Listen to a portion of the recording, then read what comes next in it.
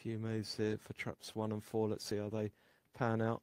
No support for the six dog racing away. Well, four kind of missed the kick, and six is quickly kicking in the turbo. Six goes on then around the first bend and takes them along from three and one who are trailing in behind. They're being followed by five, two just in behind them, and the gamble on four is a last, although he now maybe picks up a place. Just as I say that, the door slams on him. Six takes them along, then here comes one, then trying to get him back. Five just in the mix as well. Four boxing on from a mile back, racing up towards the line. Four, I think, has got there.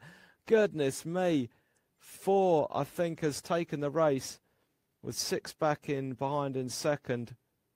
It's tight, but I think four may have just got there. Five's got there for third. That is the only certainty.